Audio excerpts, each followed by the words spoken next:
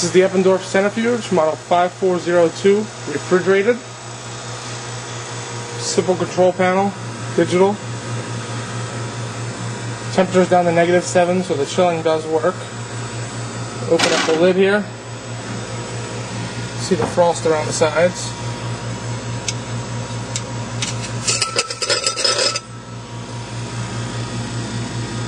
Eighteen place fixed angle rotor.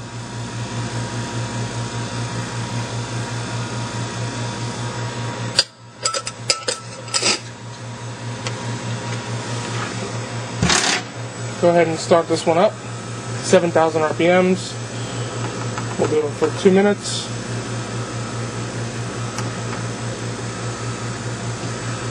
You can see it speed up very fast.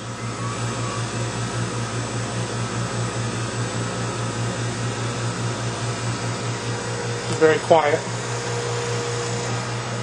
Take a look at the rear. Unit's in excellent condition. If you have any further questions, please call 609 518 9100. Thank you.